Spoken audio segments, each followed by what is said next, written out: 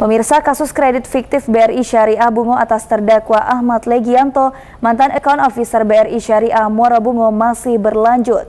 Senin 23 Mei 2022 lalu, melalui penasehat hukumnya, Ahmad Legianto mengajukan upaya hukum luar biasa, yakni peninjauan kembali atau PK. Peninjauan kembali merupakan salah satu upaya hukum luar biasa dalam sistem peradilan di Indonesia. Upaya hukum luar biasa merupakan pengecualian dari upaya hukum biasa, yaitu persidangan di pengadilan negeri, sidang banding pada pengadilan tinggi, dan kasasi di Mahkamah Agung.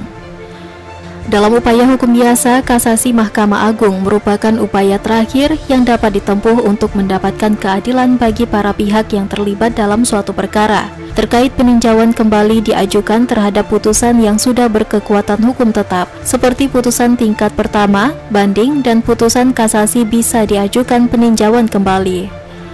Sebelumnya dalam sidang putusan, majelis hakim menjatuhkan pidana kepada terdakwa dengan pidana penjara selama 10 tahun. Terdakwa terbukti bersalah berdasarkan dakwaan primer Jaksa Penuntut Umum Kejaksaan Negeri Muaro Bungo. Pasal 2 ayat 1 Undang-Undang Republik Indonesia Nomor 31 Tahun 1999 sebagaimana diubah dengan Undang-Undang Republik Indonesia Nomor 20 Tahun 2001 tentang pemberantasan tindak pidana korupsi.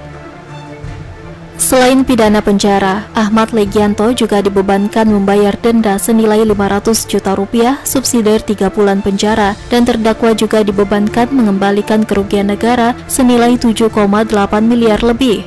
Apabila tidak dibayar, maka diganti dengan pidana penjara selama 4 tahun 3 bulan. Iqbal, Cek TV, melaporkan.